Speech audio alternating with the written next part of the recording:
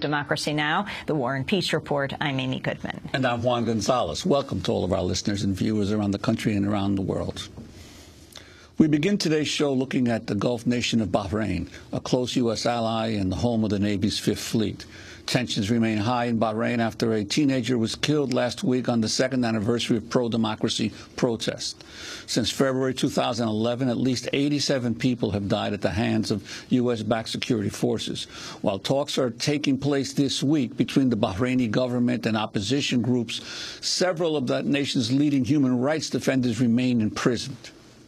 Attorney Abdelhadi Al Khawaja, the co-founder of the Bahrain Center for Human Rights, is serving a life sentence. He's already been held for nearly two years. Nabeel Rajab, another prominent human rights defender, is serving a three-year sentence. Democracy Now! correspondent Nation Institute fellow Sharif Abdel Kouddous has just returned from Bahrain. His latest article, Scenes from a Bahraini Burial, will be published by The Nation today. He joins us from his home in Cairo, Egypt. Welcome to Democracy Now!, Sharif. Uh, talk about what you found in Bahrain, and how difficult was it to get in?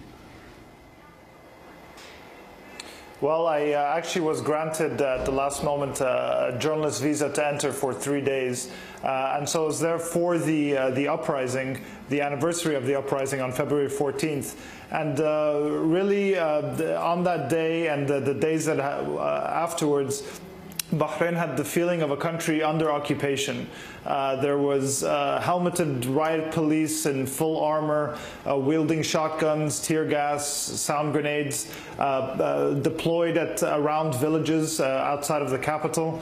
Um, there was helicopters buzzing overhead, conducting surveillance, police helicopters. There were checkpoints set up, and this is a feature of life in Bahrain, checkpoints along the major roads with security forces stopping motorists, checking IDs, uh, sometimes uh, keeping people for hours and harassing them. And uh, uh, meanwhile, inside the villages, the, there's uh, uh clashes take place with police, uh, uh, young men and boys in t-shirt balaclavas throwing Molotov cocktails and stones at police, and usually be, being attacked with shotguns and suffocating amounts of tear gas. Um, you see many of these young men going towards the site of the Pearl Roundabout, that roundabout that was destroyed by the government. Uh, in, uh, in the early months of the uprising in 2011, and uh, this is a recurring symbolic, uh, symbolic act of resistance to reclaim uh, the birthplace of the uprising.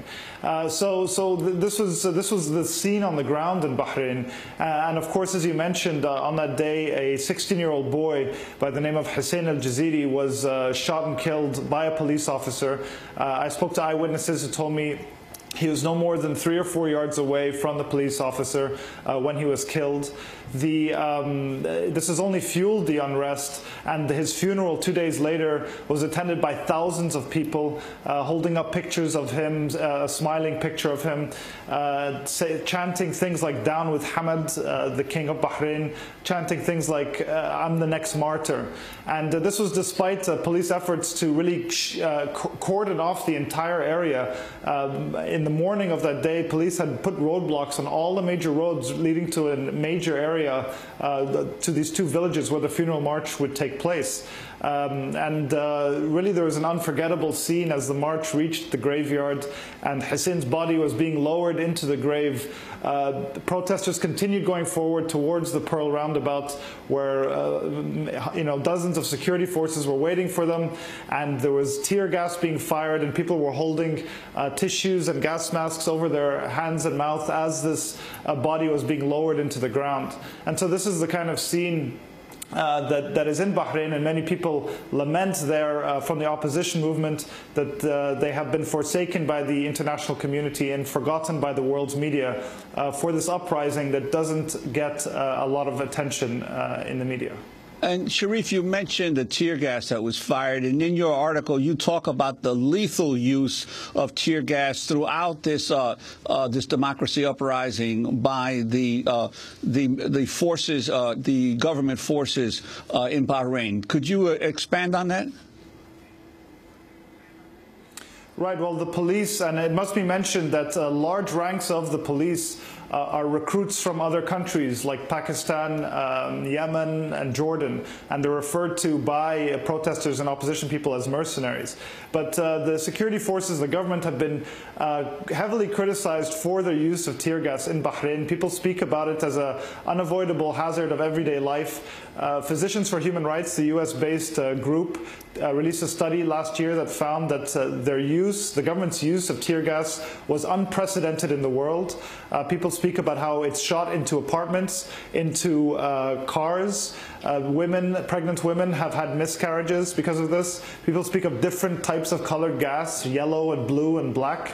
and so uh, this is the kind of uh, uh, repression and crackdown on dissent that we're seeing. And on the eve of the uprising, a woman by the name of Amina Said Mahdi, who was a 36 year old cashier at a country mall at a mall uh, died of a lung infection after a month-long stint in hospital.